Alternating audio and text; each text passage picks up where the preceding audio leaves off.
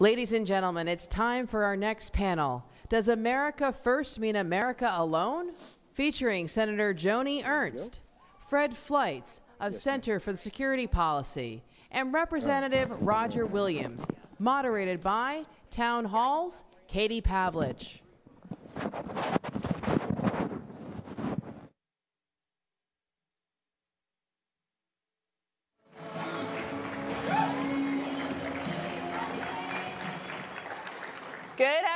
Afternoon, CPAC. We are so excited and grateful to be here. Uh, we are going to go ahead and get started with the interest of time at stake.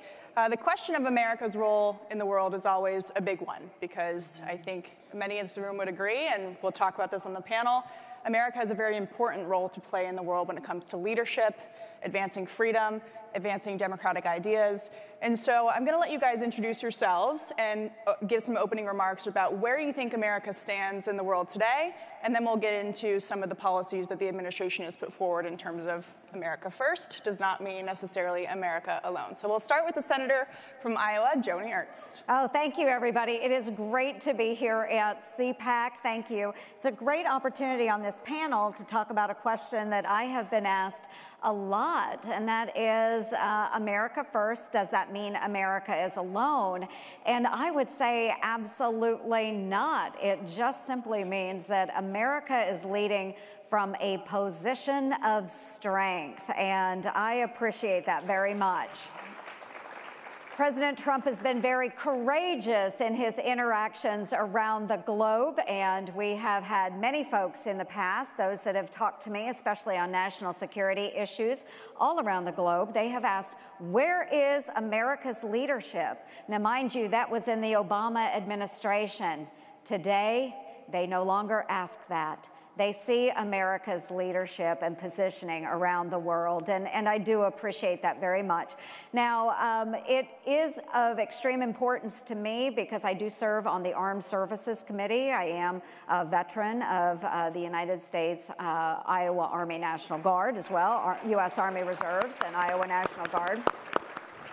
And so now I serve as the chairman of the subcommittee on emerging threats and capabilities. So we watch this very closely. But again, I want to reemphasize that America First does not necessarily mean America alone. It just means that we have retaken that leadership position in the world. So thanks everybody for joining us today. Mr. Fleitz, we'll go to you next. It's great to be here. Uh, Senator, I agree with everything that you just said. Uh, I'm a former CIA analyst, and I recently was chief of staff to perhaps the best national security advisor in nation's history, John Bolton. Hey! I, when I think of America first, I think we could say Americans first, because America first really represents a backlash against the globalists, against the liberal elite who have put forward foreign policies that leave the American citizen, the American worker behind. Trade deals that are great for the liberals but do nothing for the American worker.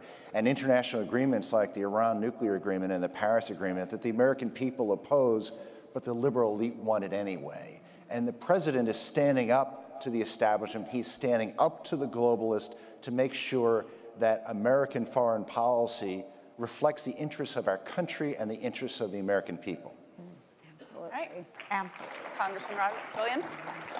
Well, thank you. I'm Roger Williams. I am from Texas and uh, uh, represent Texas in the United States Congress. But I think America sits in one of the best spots it's ever been for many, many years. Our friends are beginning to trust us again. Our enemies are beginning to fear us, as it should be. And I think America must lead. It's not America alone, it's America first, granted, but America must lead because when America leads, the world is hungry for leadership. Uh, myself being a business person, I know that people that are leaders still want to follow. And uh, we, are, uh, we have a great leader right now who's putting us at the pedestal, and, and uh, I think we're sitting in a great position. Now, I represent Fort Hood, the largest military base in America. And I think that we must,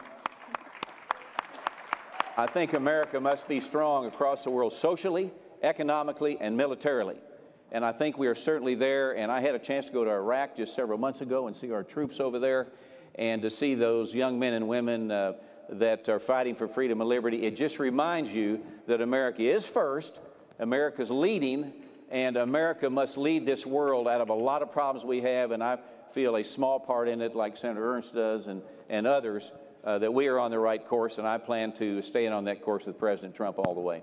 All right. Well, I'm sure all of you uh, know what the news has been for the past week. President Trump has been in Vietnam for the second summit with uh, North Korean dictator Kim Jong un. I want to go to you, Mr. Fleitz, first, because you recently wrote a book titled The Coming North Korean Nuclear Nightmare. Uh, what was your response to what happened this week and how the president has been handling the situation? Well, the purpose of the summit was to try to get Kim Jong un to live up to the commitments he made at the Singapore summit last year. The president accomplished a lot, and I had the privilege of discussing North Korea with him about 10 day, days ago. In fact, we both saw the we president uh, in, in, in, in Palm Beach. He's very pleased with this halt in nuclear and missile testing, which is setting back these programs, but we have to move North Korea to act on its commitments to denuclearize. What we saw in Vietnam was an act of leadership. We know from history that our, when, foreign, when American officials go to these events, they can't help but take a deal, even a bad deal. It's hard to walk away. The president walked away because he wants a good deal. He doesn't want to appeal to the globalists. He just doesn't want to have a ceremony to celebrate something that does not promote American interests. He's holding out for a good deal. He laid out to the North Koreans this is what a good deal has to stand for, and I'm just proud of him for walking away for a bad deal. And if only John Kerry had done that when he was negotiating that disastrous nuclear deal with Iran, we'd be a lot better off today. Senator Ernst, my question to you is about the next steps in the North Korea process. If the president is able to get some kind of deal with the North Koreans for denuclearization, the Senate will have to weigh in on what those terms are going to be, if it's going to be any kind of lasting uh, have any la- lasting impact. So, based on the, the topics that you've worked on uh, in your office, being on the Armed Services Committee, what do you see that looking like? And are we going to need our allies to help us? How do we hold China accountable for keeping up with that deal? Absolutely. I think for next steps moving forward, I think we would all agree on this panel that we do require complete denuclearization of North Korea in order to ensure the safety of the peninsula, our allies in the region, as well as our folks here on the homeland. We focus a lot on nuclearization or denuclearization of North Korea, but we also have to understand they have other capabilities as well chemical agents, biological agents. So, all across the board, we have to make sure that we are safeguarding our own people. And yes, will that require uh, our allies? Of course it will. Um, China, we typically don't think of as an ally, but in this case, they are very close to North Korea, and we can use them strong arming the North Koreans a little bit. There can also be not only a stick approach, but also a carrot approach. And you heard the, the president talking the other day about how North Korea really could be an economic powerhouse, but that's if it follows the United States example. But it will take a number of our allies stepping up and assisting us with that both stick and carrot approach with North Korea. And this is going to be a long haul, folks. And I, I applaud the president for getting up and walking away. Um, the deal wasn't right for the United States of America, and the president squarely put uh, the responsibility back on Kim Jong un. Glad he did what he did. Yeah, and we also have to hold the UN accountable because uh, China and Russia are uh, violating UN sanctions against North Korea as we speak, and they don't seem to have anything to say about how to hold them accountable. Uh, but Congressman Williams, I think a lot of people look at the North Korea problem, which is decades long, and say, how is it that a guy who can't even get an operable airplane to fly to Vietnam can be such a threat to not just the United States, but the rest of the world with his nuclear arsenal? Well, I think the fact of the matter is uh, he's, he's, a hard guy to figure out. Uh, he's frankly dangerous. Yes. And I think that's one thing that President Trump has done is been able to go see him and begin to uh, talk some sense or whatever, talk some common approach to him. But I think the world is fearful because they have nothing. Uh, they, ha- they do not have an economy. Like you say, he rode a train that his father had built for him for 78 hours to get to the meeting. So uh, I think the best thing that the president is doing, he's talking about, frankly, capitalism. We're all capitalists, right? Yes. and uh, he's talking about capitalism. He used Vietnam as an example of where North Korea could be with the opportunity of freeing the people and having an economy. And I think that's where we're heading. But also, uh, I think he's a person that you really have to be careful on what he says, what he does, because his track record of trust has not been that good. And I think the president is beginning to, uh, beginning to give him options that he's beginning to consider. So you mentioned capitalism, which is something uh, then you automatically think of socialism given the political environment we're in, and also going into our region, Venezuela. Uh, I want to talk about what's happening there, and given the administration's decision to pull troops out of Syria without, with the 400 still staying, how did we kind of square the circle on getting more involved in Venezuela? John Bolton was at a White House press briefing, and his notebook said 5,000 troops to Bolivia as an option uh, on the table. Uh, he wasn't hiding it from the press. So, can you please explain why we need to be involved in Venezuela? What is at stake there, and what are the implications and interests for the United States? Well, the 5,000 troops written on John Bolton's notepad may have been pranking the press. We don't know. uh, Mr. Bolton has a sense of humor, he could have been sending a message to the, to the Maduro regime. Uh, the president feels very strongly that we can't have U.S. troop presences in places like Syria indefinitely, and he's trying to find a way to do the right thing, but also to bring our troops home. And I think that that's the right approach, and he's trying to find a way to do it right. In Venezuela, I don't think the president is planning on invading. He has put together a, a, a multilateral coalition to pressure the discredited Maduro regime to leave office. And we did something daring. We represented, we, we recognized Juan Guaido, who is now the legal president, acting president of the country, because he was recognized as such by the parliament. And we organize a large number of states, including European states, who did not want to come with us on this. Right. Mm-hmm. So we're trying to create momentum to get the military and members of the government to do the right thing and to join Guaido and get Maduro out. I think it's going to be hard because Maduro is backed by the Cuban security agents. Uh, but I think there's some hope. We can see defections from the um, Venezuelan military. There, there, aren't a lot, but they're starting to accelerate, and I'm hopeful we're going to have a peaceful resolution. Uh, Senator Ernst, when President Trump and uh, Ambassador, former Ambassador John Bolton, National Security Advisor, officially recognized Guaido as the pres new president of Venezuela, they didn't just do it as a coup, as many on the left have said and many in the media have uh, implied. They used the Venezuelan constitution to embolden the people who were in the streets and use their own system to help them uh, get Maduro out. However, Maduro isn't going. He's uh, burning aid trucks with medicine and uh, food on them from coming into the country. Uh, there are military defections, but not as many as I think the United States had hoped for initially. Where do we go from here, and why, again, is it in the US interest to be backing up a, a, a change in leadership in that country? Well, uh, going back to uh, humanitarian crisis that we see all around the globe, and we see that on our southern border as well, uh, many of the countries in that region will absorb a lot of that impact. Um, these are allies that we have in that region. Now, I don't agree necessarily with just deploying our troops anywhere for any reason. I think we do have to be very cautious about that and make sure that we're not engaging where we're not necessarily needing to engage troops. But we do want to make sure that that we are stabilizing that region. And if we can do that through many other means other than troops, um, we certainly want to try that first, whether it's diplomatic relations, whether it is utilizing allies other than you know, the United States, um, assisting them with the processes that might help stabilize uh, Venezuela. That is very important. Um, making sure that that aid gets in is also very important. We have seen this many times over where the United States has been engaged in those types of humanitarian uh, crises, providing support for those that are delivering food supplies, medical supplies, and so forth.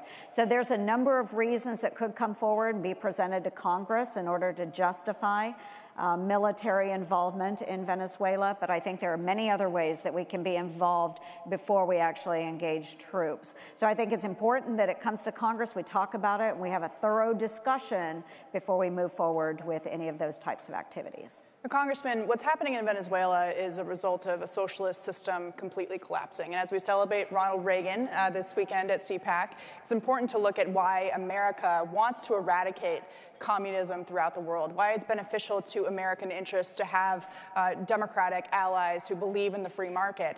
Can you talk a little bit about how having Juan Guaido take back Venezuela and give back its wealth, it used to be a very wealthy country, and implementing more of a free market system and turning Venezuela again into an ally for the United States would be better than uh, having Maduro stay? Well, there's no question about it, and we're, we're supporting the right, the, the right guy. I mean, uh, Venezuela, uh, just not too long ago, was one of the richest nations there was in the world, and we see now what socialism does to a, to a, a, a, a great economy. And so I think we're doing the right thing in supporting him. The humanitarian issues are a big reason we need to, but I think it, uh, it also is a reminder for all of us in this country that socialism doesn't work. It's just not going to work. It hadn't worked and we've got to uh, we've got to defend what we believe is the greatest thing we know is capitalism. It's a great example of what happens when you lose control, and it's uh, it's something that we need to be uh, as a country, as a capitalistic nation, understand that if you're not careful, things can turn the other way. So we have to we have to support the uh, the, the, new leadership. We're doing a great job. I feel like the others.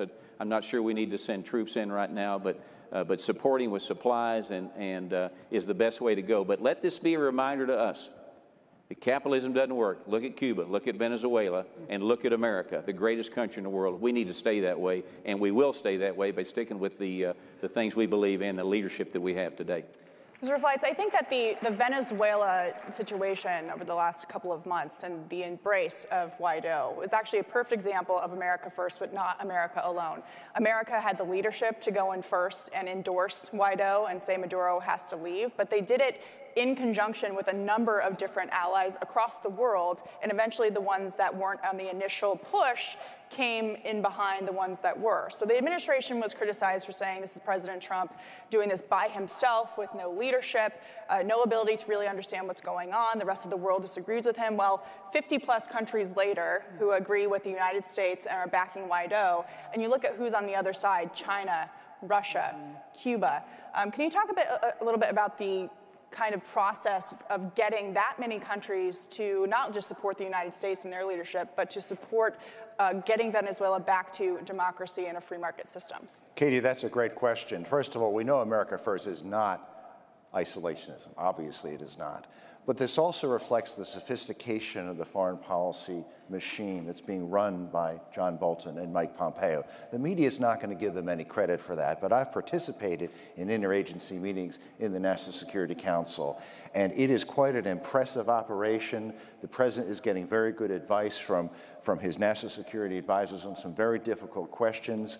Uh, you know, the left just can't get over this. They keep, they, attacking the administration for being amateurish or not for knowing what they're doing. But look, this was really an expert uh, operation of diplomacy to put all these nations together. We started it, but we didn't start it alone. We had other nations behind us, but we knew the right time to recognize Guaido after he was recognized by the uh, Venezuelan parliament. Uh, it, I think it was an example of how foreign policy is working, but also how the America First approach to foreign policy works. Senator, you're nodding your head down there. Do you have something to add? Yes, I, I just think of this example, Venezuela, but I think about our actions all around the globe too, um, whether it's in the Middle East, whether it's our support that we have given to Ukraine in their war against Russia. Um, we have so many other countries. Yes, thank you. We love Ukraine. Um, the support that we give to these other countries, we're not alone in doing that. We have built our alliances through many decades of very hard work. Um, so it's not just Venezuela, but we are, we are showing leadership all around the globe. That is America first. When we are stepping forward and we are leading and others are following. So Venezuela is just one of the more recent examples that we have seen all around the globe of America first, America leadership. So, Congressman, you can't get away from President Trump's foreign policy without talking about trade. This is a huge part of the way that he's um, negotiated with North Korea, the way that he's uh, been implementing sanctions and economic uh, costs to Russia through allowing new gas to come into to, to Europe through other means.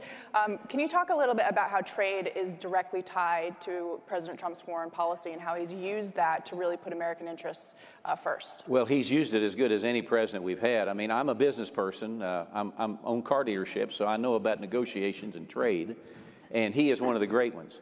And the fact that he's been able to uh, uh, sell these, you know, sell, sell the fact that, of, of trading uh, has really been responsive to this to, to, this country, and he's done a, fa- a fantastic job. And he's uh, selling, and of course we got tariffs. We're talking about tariffs. We're talking about China, various other things. He's using a big stick. We've seen some of these co- countries that have not wanted to talk to America at all. All of a sudden they're waking up and saying, you know, maybe I better talk to this guy.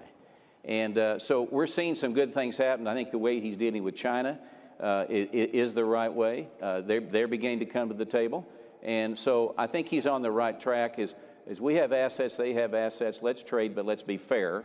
And uh, I think we're heading in a great direction from an economy standpoint. I think the American economy is, is going to continue to be strong because of his, his efforts in selling America to the world. Right. You, we got the greatest product there is the United States of America, free markets, capitalism, low unemployment. He's selling that to the world, and the world's responding. I think he's doing a great job. And, and, he's really used very specific issues of trade. So in the last couple of weeks, he met with uh, uh, representatives from the Chinese government who were in Washington, D.C. on behalf of President Xi, and he signed a deal where we're now going to export more soybeans, which is beneficial to uh, our, our, economy, but also allows us not to be buying so many Chinese goods. So can you talk a little bit about that, how, how that impacts our foreign policy and also trade in communities like yours? Absolutely, and it is very important to the people of Iowa. So that soybean deal really does help out. It, it bridges the gap. There's a lot of pressure on American farmers right now, and, and for Iowans, China is our fourth largest uh, export market.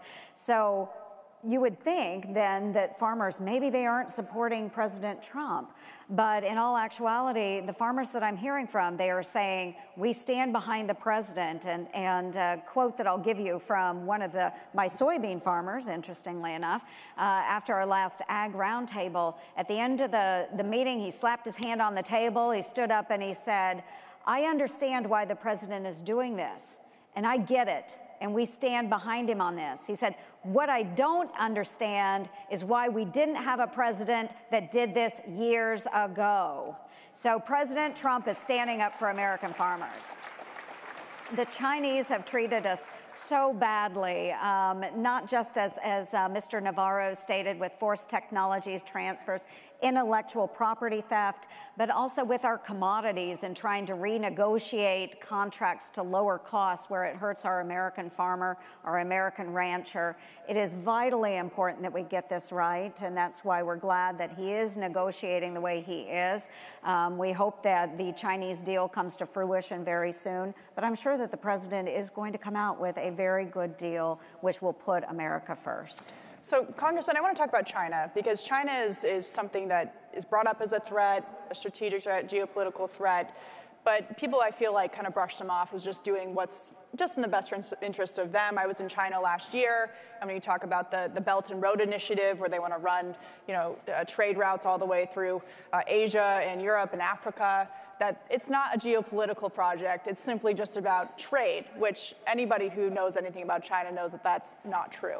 Um, how much of a threat is China, and is is their ability to be patient, to have a 100 year plan, an advantage to them compared to to the way that we do things, which is in a much faster pace? Well, I think China, they certainly uh, are somebody we, uh, militarily, we have to be aware of them, and of course, economically, we have to be aware of them. I think their choice would be to defeat us economically as opposed to militarily. That's why I enter President Trump to begin to slow them down. Uh, from what they did. They're buying our intellectual property. They're, they're, they're doing a lot of involvement in our country. We are aware of it. They're buying real estate in our country. Uh, and uh, we are now more aware of it now probably than we were ever before because of where President Trump is on being on acknowledging China. So we have to be very careful with them militarily, but also I do think, as I said, their goal would be to beat us internally, to beat us uh, from an economic standpoint. And the way we're going now with uh, three and four percent growth and low unemployment, I think we've showed them that we have the best economy, mm-hmm. and uh, we see that by them beginning to to lower some of their tariffs and talk more about it and so forth. So let's do not lose sight of the fact China, we are aware of China. We're not afraid of China, but we are aware of China economically and uh, socially, militarily, all those things. But we're on the right track, and I think we've slowed them down to the point that uh, they, uh, they may even have surprised themselves that they're, uh, they have issues that yeah, they're they about haven't to have had before. Some, some domestic issues of their own.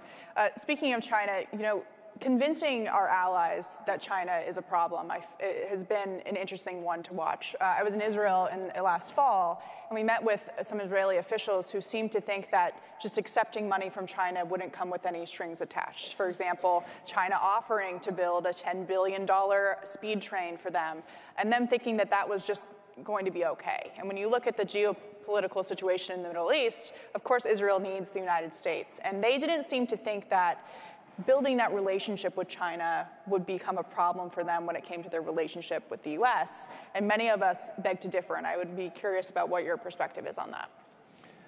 Well, um, repeated administrations have underestimated the threat from China for years. They've let China get along with uh, trade deals that take advantage of us, that steal intellectual property, that favor Chinese companies, that uh, basically our, the trade deficit is something that we've tolerated. I think part of it was we thought, well, China is a developing nation, we'll fix this down the road. But this is the first president to stand up to the Chinese and say, we want free and fair trade. We want you to stop stealing our intellectual property. Right. It's, it's a big deal. I mean, our companies spend billions of dollars developing advanced uh, defense and, and, and, and uh, factory uh, technologies and the Chinese are getting it for a song by stealing it, often stealing it from the factories that our companies are building in China. Right. This has to stop. I, I, wanted to add one other point. Senator uh, Ernst made a great point about American leadership. This has a lot to do with America First.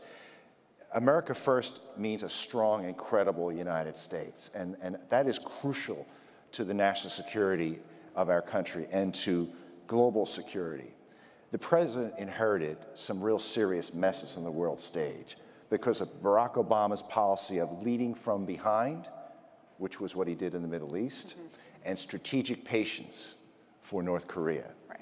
And America First is countering these disastrous policies that really left uh, uh, President Trump an enormous disaster to deal with. And I think he's able to deal with it. We've made so much credit to North Korea because he is dealing with these messes. He's thrown out the diplomatic rule book, and I think he's really making the world a safer place. So we don't have much time left, so I want to get over to Europe here. Um, while the president's policy is America first, he also wants other countries to put themselves first and to pull their own weight. So we've heard a lot about Russia over the last two years.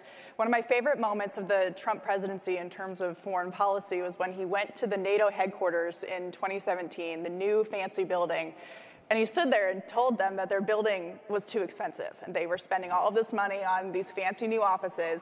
And then he stood there and said, You guys need to pay your 2%. Not because we're asking you to pay more, but we're asking you to pay what you have pledged to pay in this alliance. Now, he was criticized for throwing our NATO allies under the bus, um, you know, somehow asking NATO to pull their fair share and to beef up their defense forces against Russia was seen as a pro-Russia move. Um, and here we are now with all of these NATO countries, at least for the most part, paying their 2%. So I'd, I'd like to get from all of you what your perspective is on where we are with NATO, and how President Trump's tough love has actually led to a stronger United States and a stronger alliance uh, in Europe. Uh, I, will go ahead and start because uh, I think Jens, uh, Jens Stoltenberg would say that America has done very well for him and for NATO and, and our allies by um, allowing them to step up to the plate a little bit more and contribute. And that is really important that everybody have ownership of, of NATO, and they are getting where they should have been many, many years ago. I just returned uh, last week. I want to push back because uh, I would say that the president is not pro-Russia, as many of the in the media would like to portray him. Um, I just returned from Ukraine last week, where this president and this Congress has provided the Ukrainian army with the military equipment, the lethal aid necessary to push back the Russians from the eastern U- Ukrainian front. That was this president that did that. And the, or excuse me, the Ukrainian general that is in charge of operations out on that eastern front, he said it was the javelins provided by the American military, the American people, that pushed the Russian tanks back even further out of range. So that was this president, where we have seen in action in the past we have seen action by this president against Russia. So um, that is because we have leadership. That is because we are engaging with our allies. And I'm very glad for it. And I think the American people are glad for it as well. Well, the European states had a commitment to pay their way in NATO, and they weren't paying it. Various administrations said, please pay, and we didn't really push them. And, you know, when we don't make these states hold up for their commitments, uh, we're less credible. The president says you have to pay your bills. And this is a serious matter. Just like he says to the Chinese, you can't cheat us in international trade. It, it's, it's demonstrating a credible United States on the world stage. And, and look, I've seen the president talk to foreign leaders, and you don't want to cross as president. He's tough with them, and I, I, can't give specifics, but, but I mean, he stands up to rogue states, rogue leaders who try to take advantage of us, and I think he is making America safe again. Congressman? Well, I'm glad he did it. I mean, look, in, in, in real life terms, you can't drive the car and not pay for the car. and, you know, there's a thing called return on investment. I mean, we're, we got the investment, we're getting whatever return, but they that can't get, you can't get return on no investment. And so he did the right thing in, in telling people to step up and get skin in the game. And as you said, Senator, uh, when you got skin in the game, you're, you're more apt to follow how things are going. And he did the right thing. He did something that very few people have done in the past. But, you know, the United States of America, the greatest country in the world throughout history, has financed a lot of opportunity for people. And we haven't been paid back. And I think the fact that he would tell the other nations, you need to step up, you need to pay your fair share, uh, enjoy the results, but get return on investment, not return on no investment. Drive the car, but pay for the car. I think uh, it's, it's created a new level of responsibility in the world from other countries that just thought that we were never going to say anything. It just go away. Well, it's not going away because we don't have an infinitesimal amount of money, but we have an infinitesimal amount of energy to help people succeed. Mm-hmm. Well, we only have a few minutes left, so we'll get to closing remarks. As we continue to celebrate America as a leader in the world, being respected again in the world, where do you see us going in the next year when it comes to our place in the world and what this president is going to be able to do? I think it is really important that we continue to interact with our allies and again do that from a position of strength. That is very important. And again, I want to say how courageous I think President Trump is for actually uh, throwing out that diplomatic playbook. Is that how you expressed it? I, you know, I just I think that's pretty pretty amazing that, that our president has gone against all um, status quo, shaking things up, doing things differently but in a way that really does position us quite well. We are America first, America leading, but we are showing our allies that we are committed to them as well. And so I think we will continue down that path with uh, President Trump's leadership, and we will certainly support America being first. All right. The, the president has reestablished credibility on the world stage. He, he has established himself as a powerful and credible leader the world nations have to deal with. I think China is seeing this. I think we could get a good deal with China. I think North Korea has understood that this is a credible president. He's not going to settle for a bad deal. And I'm so proud of the president for pulling out of the fraudulent Iran nuclear deal. I played a role in advising people who did that. Uh, this did not stop Iran from, from pursuing nuclear weapons. We know Iran is still sponsoring terrorism. So I think our country is on a, on a very good trajectory after the disastrous foreign policy of Barack Obama. Last word to you, Congressman.